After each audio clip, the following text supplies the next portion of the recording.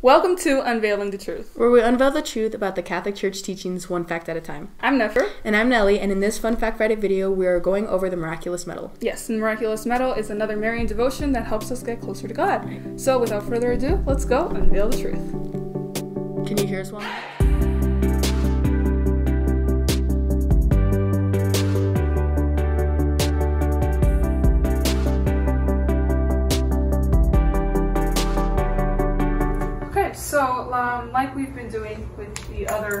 Devotion um, Fun Fact Friday videos, I'm going to be explaining the history behind how this devotion came to be and how it started. But just really quickly, the miraculous medal um, is, or as this article puts it, designed and revealed by Mary, the medal is unique among all medals. And so basically, the miraculous medal is the image of um, the Our Lady. this is this image right here, which has been enlarged for simpler viewing. Um, and I mean, I typically, I mean, I technically do have the medal, but it's inside my scapular. And I think most scapulars, or all scapulars, have the miraculous medal Oh. inside of it.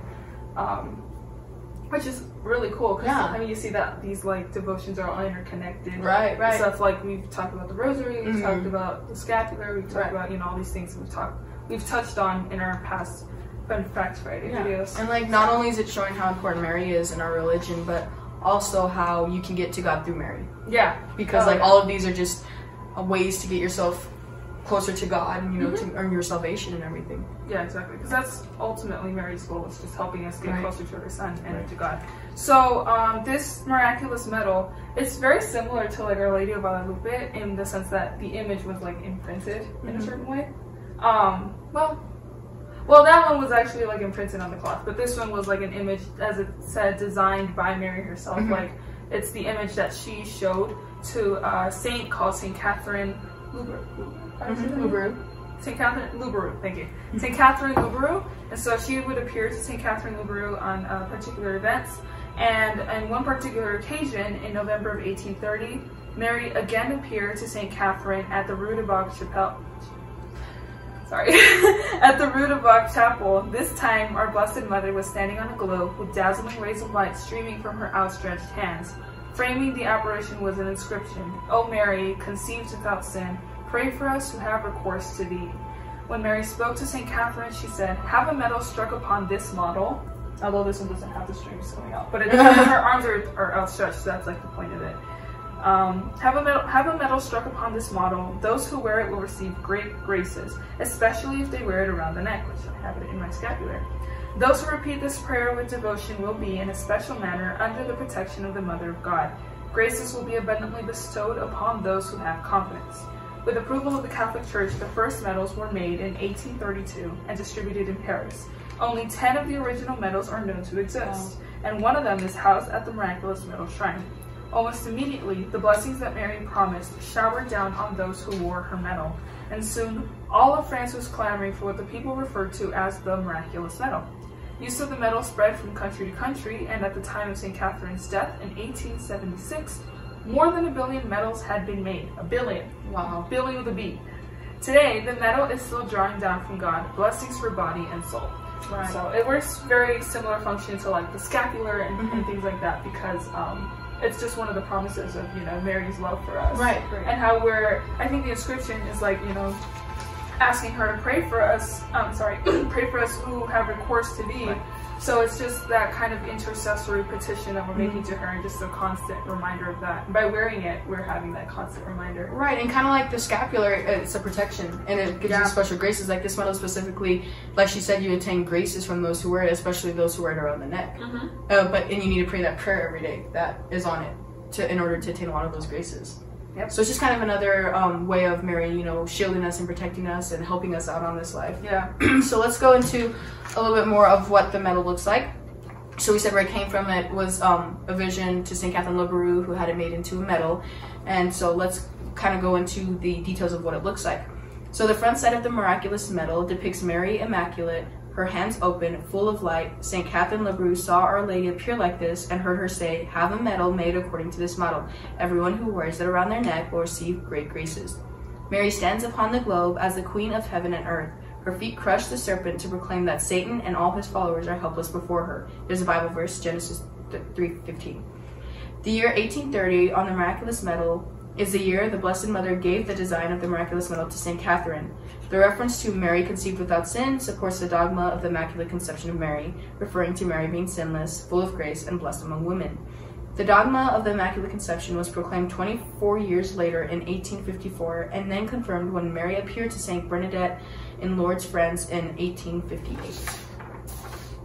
On the reverse side, the cross and the letter M symbolizes the close relationship of Mary to the suffering, passion, and death of her son. The cross can symbolize Christ and our redemption, with the bar under the cross a sign of the earth and the altar. For it is on the altar at Mass that the sacrifice of Calvary continues to be present in the world today. The M signifies Mary and Mother. The interweaving of Mary's initials and the cross shows Mary's close involvement with Jesus in our world. In this, we see Mary's part in our salvation and her role as Mother of the Church. Beneath the cross bar, yeah, beneath the cross bar and the M are two hearts side by side the Sacred Heart of Jesus crowned with thorns, and the Immaculate Heart of Mary pierced with a sword. The two hearts represent the love of Jesus and Mary for us. The twelve stars signify the twelve tribes of Israel and the twelve apostles, who represent the entire church as it surrounds Mary. They also recall the vision of St. John, writer of the book Revelation, in which, quote, a great sign appeared in heaven, a woman clothed with the sun and moon under her feet, and her on her head a crown of twelve stars, close quote. Nice. Right. I always like that image of um, Re- Revelation, the one showed in Revelation, Mm-hmm. because it's like that's literally the exact image of Our Lady of Guadalupe. Wow. Well, That's by the way, we're playing the music from her mantle right Mhm. now, so yeah, just keep that in mind if you s- hear some noise. It's that and combined with the fan.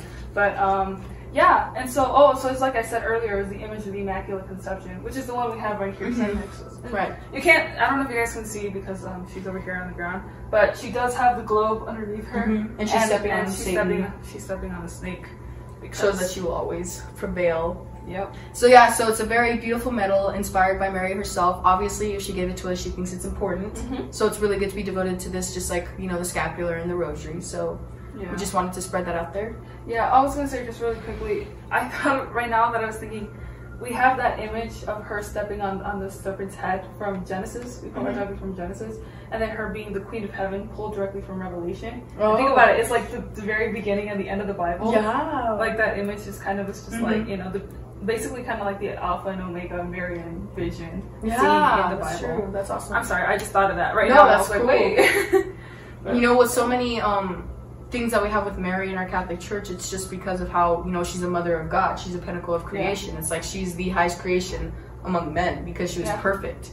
And so we need Yeah. to we need to respect her for that, and we don't worship her, but we honor her for being the mother of God and for being sinless and for loving us. Like she loves us as if we're her own children. So just little devotions like this really make her heart happy. So Yeah, and so you know, kind of like how we said earlier, it's just it's always going like how you said to Jesus through Mary. Mhm. It's always going to be to Jesus. That's like the end goal. It's always to God. It's never for her own sake yeah, because you know it's, it's always towards leading towards her son. You know, she's like, I'm doing this to help you guys out. Yeah. bro." Like, Yeah, really. it's not because I want you guys to worship or adore me. It's because I want you to worship and adore my son. I want you Mhm. to worship and adore God, the Father, God, the Son, God, the Holy Spirit. Yeah.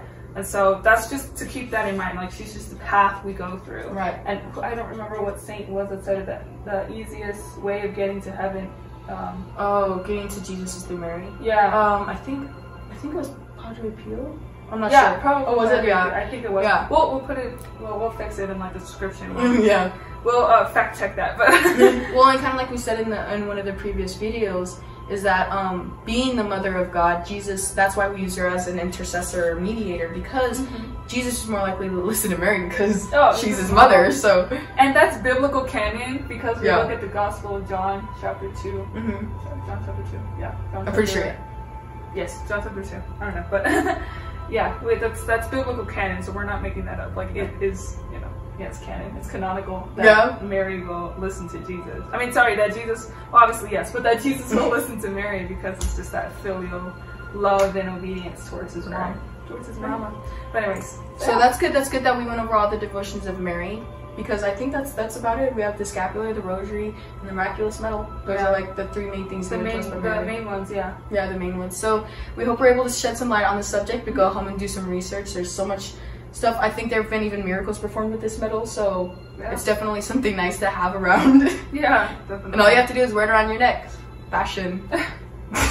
Sorry. Not with the intent of fashion. I know, I know, I know, Or it's not the intent of fashion, more so with the intent of devotion. Hmm. But yeah. Don't listen to me. Don't listen to this. I'm not yeah. So um, Thank you so much for watching. We hope you enjoyed.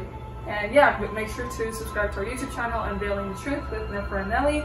Um, you can check out our audio podcast on audio platforms that we have up on our link tree, which will be down in, the in the description, like Spotify, iHeartRadio, Google, Apple Podcasts, RSS feed, Anchor.